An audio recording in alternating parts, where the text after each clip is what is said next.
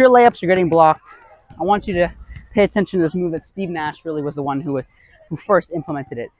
First thing I want you to do, picture in your head yourself going for a layup.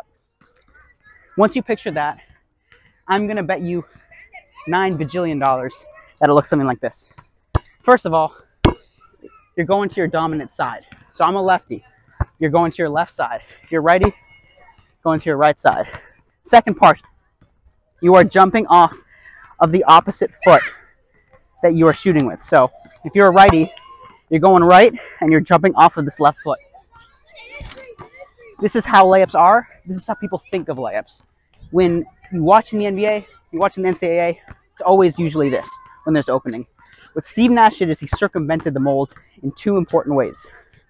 Number one, he went on the opposite side. So if you're going left on the left side, you go right on the left side, which looks something like this. It's a little bit harder. It's worth the practice. I'll show it on my right side now. But it's very, very important because the defender has this paradigm in their head of if you go left, you're shooting a left-handed layup, not if you're going right. So that's the first part. This is very much more common, the offhand layup. However, the second thing that we're going to throw into it is jumping off the wrong foot. Now this also makes the layup a bit harder, but it makes it a bit quicker.